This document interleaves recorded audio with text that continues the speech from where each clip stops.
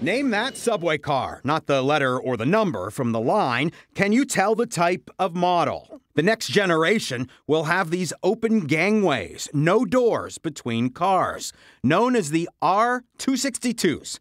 The MTA's been talking about them for nearly a decade. Other systems have had them for years. When I come every morning, it's packed like sardines. This is New York City. This is not Toronto. Uh, this is not London. It's a totally different system.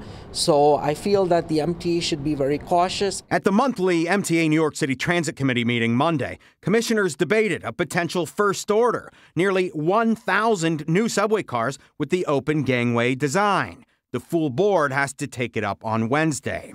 At the committee meeting, they were concerned that the current order for new cars called the R211s should be allowed to arrive first.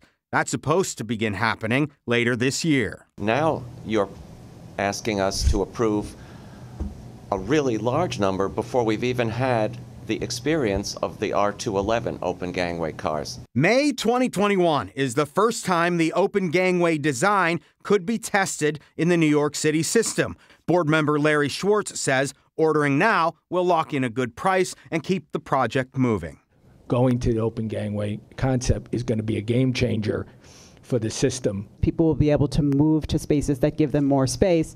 We'll have less congestion around doors. We'll have wider doors. Delays and mechanical issues have come up with past car orders. Nearly 300 of the R179s on the J line had to be taken out of service last month after some had an issue with the doors.